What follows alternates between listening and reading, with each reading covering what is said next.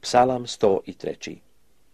Blagosiljaj dušo moja gospoda i sve što je u meni sveto ime njegovo. Blagosiljaj dušo moja gospoda i ne zaboravljaj ni jednoga dobra što ti je učinio. On ti prašta sve grijehe i iscijeljuje sve bolesti tvoje. Izbavlja od groba život tvoj, vjenčava te dobrotom i milošću. Ispunja dobrim želje tvoje, ponavlja se kao u orla mladost tvoja. Gospod tvori pravdu i sud svima kojima se krivo čini. Pokaza putove svoje Mojsiju, sinovima Izraelovim dijela svoja. Milostiv je i dobar gospod, spor na gnjev i veoma blag.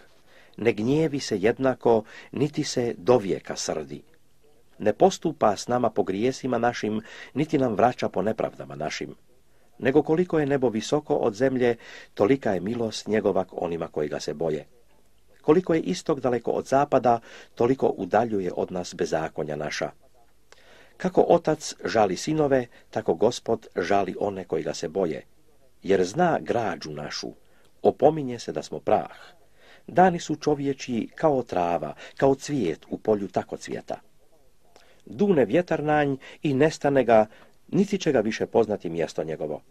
Ali milost gospodnja ostaje dovijeka i dovijeka na onima koji ga se boje i pravda njegova na sinovima sinova koji drže zavjet njegov i pamte zapovijesti njegove da ih izvršuju.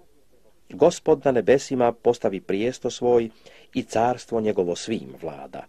Blagosiljajte gospoda, anđeli njegovi koji ste silni krepošću, izvršujte riječ njegovu, slušajući glas riječi njegove. Blagosiljajte gospoda sve vojske njegove, sluge njegove koje tvorite volju njegovu. Blagosiljajte gospoda sva djela njegova po svim mjestima vlade njegove. Blagosiljaj dušo moja gospoda.